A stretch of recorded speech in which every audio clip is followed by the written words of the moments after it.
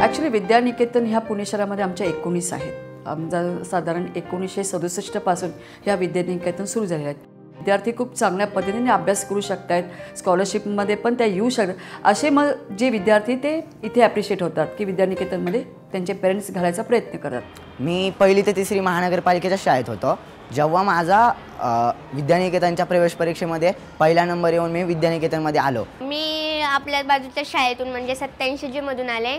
मग इथं आल्यावरती पण शिक्षक भरपूर प्रोत्साहन द्यायचे. उत्तरं दिल्यामुळे सरांना असं वाटायचं की हे करू शकतात काहीतरी. भीती जेव्हा वाटते जेव्हा आपली तयारी कमी होते. आणि विद्यानिकेतन ही तयारी करून एवढी घेते की तयारीवरच सगळे मार्क्स वगैरे मिळतात.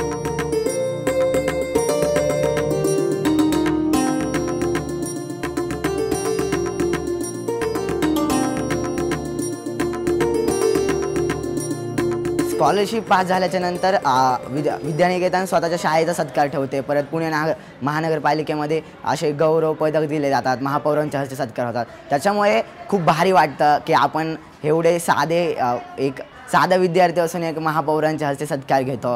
चौथीची स्कॉलरशिप पास झाल्यानंतर म्हणजे जे कॉन्फिडन्स आला की आपण जीवनात काहीतरी करू शकतो. आपण एवढी स्कॉलरशिप पास झालो म्हटल्यावर आपण काहीतरी आपलं काहीतरी स्टेटस असणार की आपण पुढे जाऊन काहीतरी करू शकतो.